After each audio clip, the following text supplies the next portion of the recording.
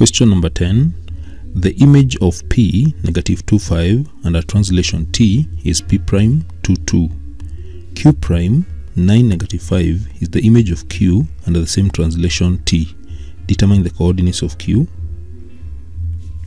So the first thing you're going to do is to calculate the translation vector that maps this uh, object P to P prime.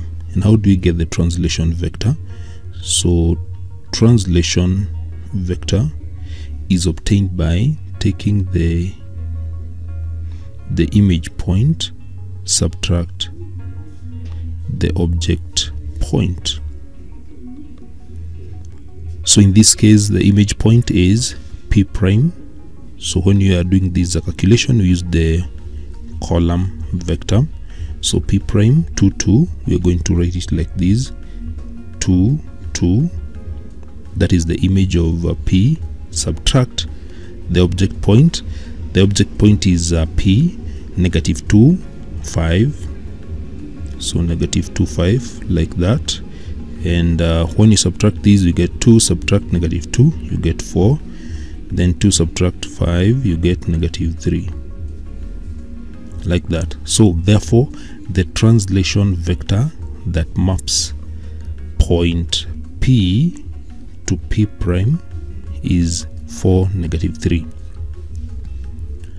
now given uh, q prime this is the image of q under the same translation we need to find the coordinates of q.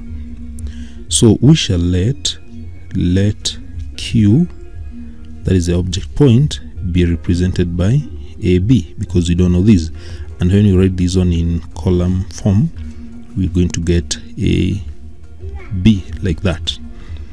Now what how do we translate a point? We add to translate a point we add we take the object point we add the translation vector. That is how we get the image point. So in this case um, to get the image of q we shall take um, the object point of q which is ab so to translate that point we add the translation vector which is 4 negative 3 and that is when we get the image point that is a q prime which is 9 negative 5 so that is how we carry out translation. So now we need to find AB given this uh, equation. So how do we work out this we simply need to get AB so to get AB we simply need to take uh, 4 negative 3 to the right hand side. And when you do that uh, we'll have uh, 9 negative 5 on the right hand side. Then when you take a positive 4 this is a 4 negative 3 to the other side. Of course we subtract 4 negative 3 on both sides in order to remain with AB so we shall have 4 negative 3 like that. And these will give 9 subtract 4 you get 5 then negative 5 subtract negative 3 this only get negative 5 plus 3 which is uh, negative 2 so these now represent the object point q.